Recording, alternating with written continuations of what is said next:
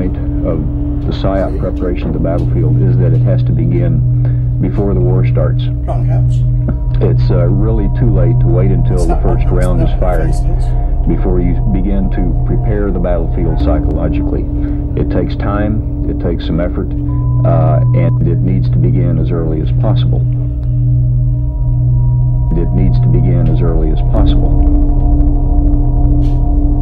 Are ways that PSYOP can assist with military deception at the strategic, operational, and tactical level. It needs to begin as early as possible.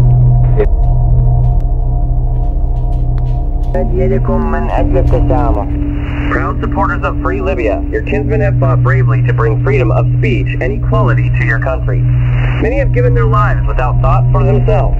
There are children without fathers and women without husbands, so that all that is good and just can be heaped upon your heads and those of your children. The entire world knows you, Libya, by your deeds. Show the world that the martyrs have not died in vain. Apply their desire for justice to the misguided soldiers of Gaddafi, who are also your brother, and reach out your hand in forgiveness.